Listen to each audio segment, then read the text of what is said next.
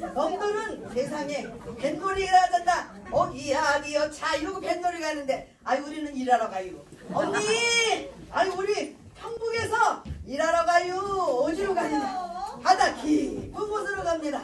자, 아이고 여보게도 네. 아 고기 잡는 곳에 당도 했네 그래야. 아 선장님. 예. 아유.